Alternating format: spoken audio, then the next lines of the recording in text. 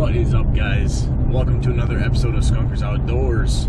We are just wrapping up the 10 years a River Story series. Um, today we're going to try something a little bit different. Uh, we are going to go out to try to see if we can catch a couple panfish. I'm going to do a little catch and cook, possibly. Uh, hopefully, we can try to find some big toothy critters uh, or some big old ditch pickles. We'll see you out there.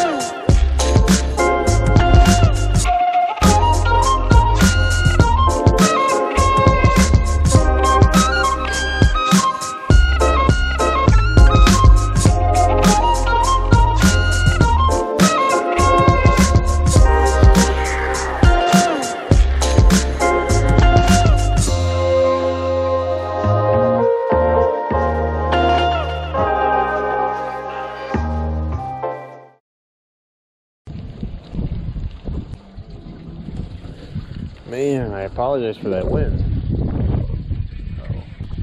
The wind is pushing me at a drift about anywhere between half to one mile an hour. So we're just trying to catch a couple gills just so I can eat some lunch. And right now we're running uh, just a little pink jig head with a little night crawler on it. Just like that. Trying to fish about eight to 10 feet of water. I'm jumped out right now to about 16, so I got to scoot back in a little bit, find some weeds. There's 12 feet and some weeds. Whew. I got a little front coming in. Some rain, so we'll see how we'll see how long this lasts. If I get two, three, I'll eat. I'm getting pretty hungry already.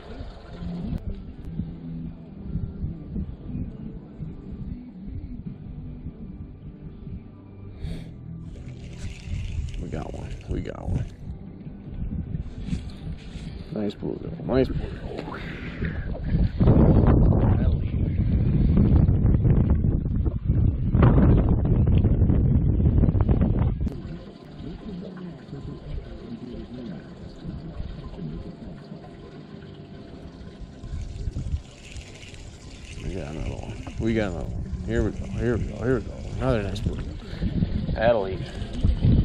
Look at these guys. Perfect eaters. Settle down.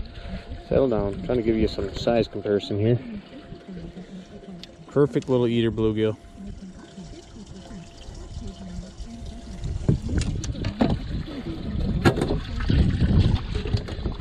Get them in there, keep them live for a second. I might go cruise into this channel. I go cruise into this channel and try to see if I can get out of the wind and do some little cooking for you guys. Try out my new slab cutting board, the slab 1.0. Oh, that was uh, seaweed, I think. All right. Now, I brought my bag of fun. And I was going to tell you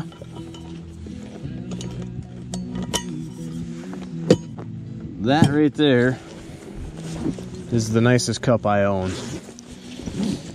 That is a slab mug. Burned through a whole bottle of whiskey already. couple cups of coffee. And now, today, we are going to try and cook us some bluegills. Got some lemon pepper. Got some shore lunch. Cajun, of course. Is there any of it, any other flavor? Don't think so. These cups here, super nice. Got a little carabiner, to clip it onto anything. The uh, idea is to take it with you. So nice stainless. I think it's a 10 a 10 ounce cup mug, uh, volume wise, and I believe they're like just over five ounces for carrying weight. Um, but they they're nice to clip onto your backpack or whatever you want to use them for if you're going backpacking or whatever. Um, obviously, if you're going backpacking, you're not going to be uh, bringing a uh, 30 pack of beer with you. So the uh, little, you know, couple little bottle of whiskey or something like that, or some rum, the way to go. And then this right here is the Slab 1.0. Let me show you guys. This thing is nice and thick. It's got, it's hard to see, but it's got little uh, inch markers in here. So it gives you like a good idea of how long of a fish or whatever you're measuring or you're, you're cutting up. Um, it's 12 by 12 when it's folded down. Obviously 24 by 12 when you uh, unfold. So it's a nice big surface space. Um, good for walleye, uh, panfish, obviously, and maybe some small pike or something like that. Doing some trout um, works out perfect. So uh, it's got little knurling on it, so it's got little grips, not so slippery. Um, fish sliding around stuff on them. Uh, today we're gonna try to cook up a couple of these bluegills. I just got two. Didn't want to overdo it. Uh, and to be honest with you, I am having some luck today catching bluegills. So pull the plug out of that thing, let that drain out. I got my Berkley fillet knife. Take one of these bluegills. Take out one at a time. Slap them down on the board, and like I was saying before with the measuring, so we got, uh, it doesn't have numbers on it, but you get a good idea. You got one, two, three, four, five, six, seven. So these are seven and a half inch bluegills. Nothing huge. Quick put her out of her misery. Stab her in the old brain. Viewer's discretion. Obviously, there's still going to be some nerve endings in this thing. Um, doesn't get much better than this, though. Nice, fresh bluegills. I'm just going to do these real quick. Try to take up too much time. I'm just to go right through the rib bones.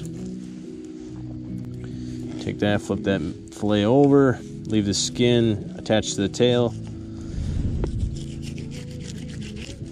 Oh, drop her in the boat.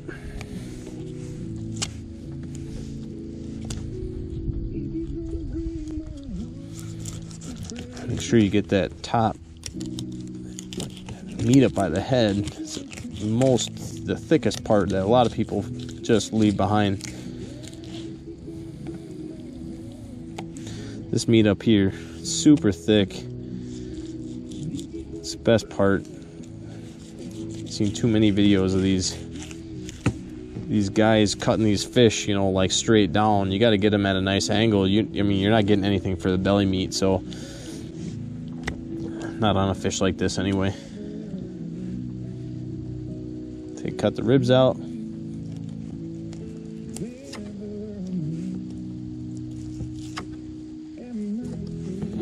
Ribs out of there. There's one boneless fillet. Take this one. Cut the ribs out of there. Lost a little meat on that one. That's all right. There's a oh, took my fillet in there two boneless fillets. Got to get a lighter out of my handy dandy tackle box. Put my sheath on my knife so you don't get cut. Always resheath your knife. Put that away right away. And what we got is a little bit of shore lunch. Cajun, obviously. We're just gonna put those fillets in that bag. Give a little air in it. Actually put a lot of air in it.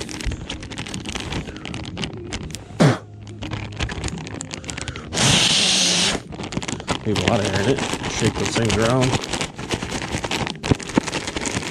Get some good coverage. Set that aside. I got a lighter in my tackle box. She's ready.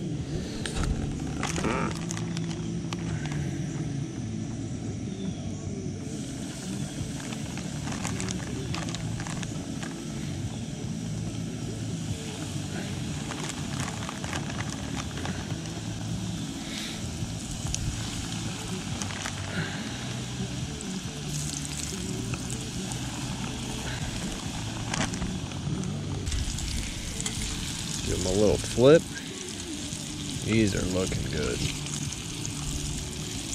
This is going to be perfect. You just couldn't do better than this right now.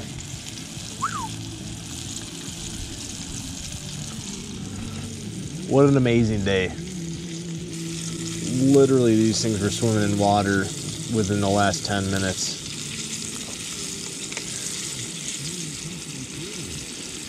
And thanks to my slab cutting board, we are frying them up. Gonna have them for dinner. Just doesn't get much better than that.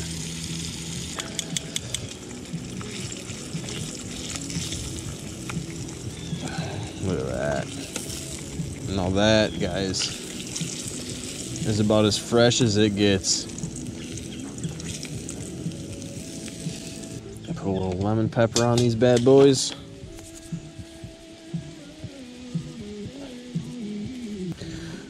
All right, let's try this fish out.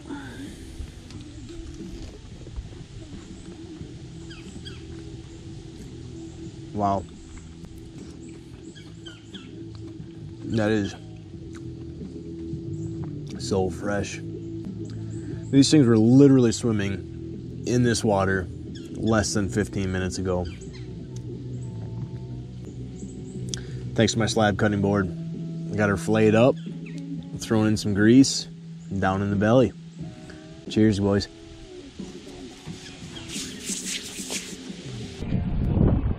What? Well, I was reeling this thing in to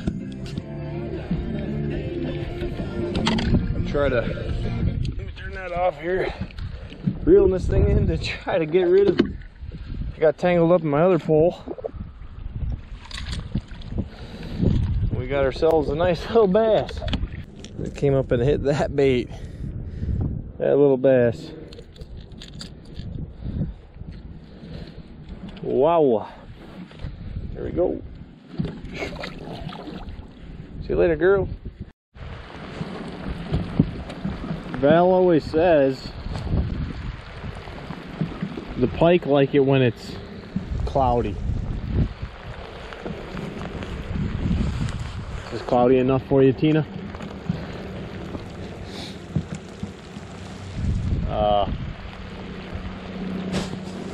we're gonna take a few casts in a couple spots. And if we don't have any luck, we're gonna get the heck out of here.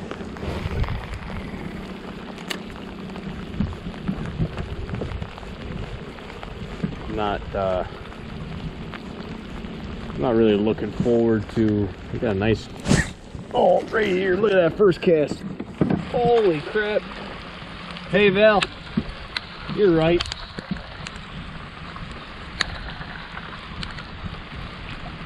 I guess you're right.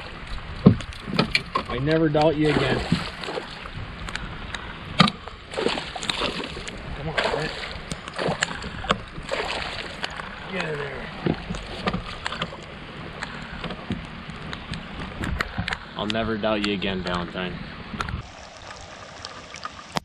Long and skinny. That's how we like them. 28 and a quarter. There she is. Well, Val, you weren't wrong about them liking the clouds. There's another nice little snot rocket. She's ready. There she goes. Alright guys, we're back at the house. All my GoPro batteries died, so I was not able to close out the video. But we're back. we're dumping footage. Hopefully, gonna do a little bit of editing tonight. Um, we did manage to get a couple bluegills. Uh, got those all cooked up out on the boat thanks to my Slab 1.0 cutting board. The thing was super slick out there. Um, did end up getting a nice little bass and uh, another little toothy critter. Got a little pike. Um, just as soon as the clouds started rolling in and the rain came. What do you know? Thanks, Val. um, hope you guys enjoyed the video. If you did, give us a thumbs up. Um, if you want to see more like this, leave a comment down below. We'll start doing some more vlog style videos. Um, hope you guys enjoyed. And as always, catch fish, make memories. I thought I was having a bad day.